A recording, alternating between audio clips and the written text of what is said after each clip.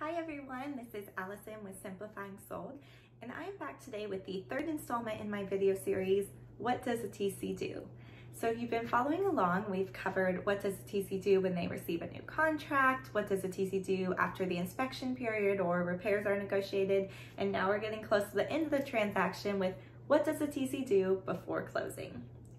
So while there are some items um, between inspection negotiations being wrapped up and the closing, getting close to the closing date, there's usually a little bit of a slower period once those repairs are decided on um, before we get about a week or so out from closing.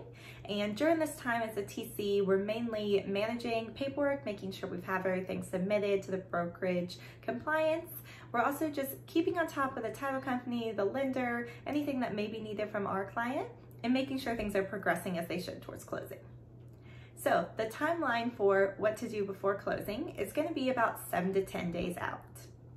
And one of the first things we're gonna do is start scheduling the closing. So to do this, I like to keep the title company and our client and the agent all on one email and just kind of asking everyone to confirm their availability. Um, this will also, if we weren't aware of any special circumstances for the closing, like um, mobile notary, maybe on our side or another side, or maybe we have two sellers who due to work travel are gonna be in two different locations.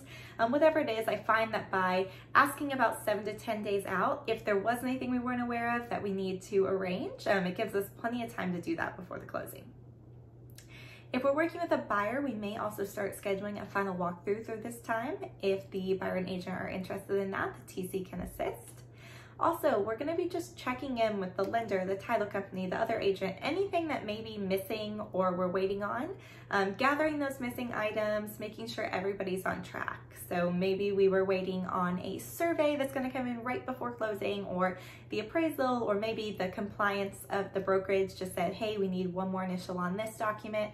Um, making sure we've reached out about those things and following up on them until the result is needed. On the compliance note, we're gonna be double checking that the compliance has been approved. So we likely already got approval, but if, um, depending on the process per brokerage or if there was anything missing, now's a great time that we wanna double check and make sure the file's been approved um, so we can get that agent paid. And on that note, we're gonna make sure we have the CDA and that it's been sent to the title company so there's no delays in the agent's payment. Also during this time, we're gonna collect any repair receipts that may be outstanding. So if any repairs were agreed upon during the transaction, we're going to get them from the applicable party and distribute them accordingly so that all parties know the agreed upon repairs were completed before closing. Now, once we have all these items set up, we're gonna make sure our client, buyer or seller, has all the closing details that they need. So from where to go for closing, what to bring, what time, and also think common questions like when do I shut off or turn on the utilities? Um, when can I expect to get my keys? Or do I need to forward my mail? Um, things like that, giving them any details they need so they're well aware of what they need to do before the closing. With a buyer, we're also gonna wanna make sure on either side that they've received their final documents from their lender, they know how much to bring to closing and how to provide those funds.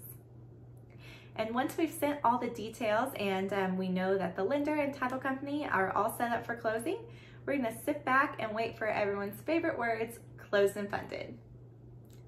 I hope this answers some of your questions about what the TC does to start wrapping up a transaction, and I hope you found it helpful. I will link my blog below where I go into a little bit more detail on these items and I hope you will like and subscribe to my channel. Thanks everyone, have a good day.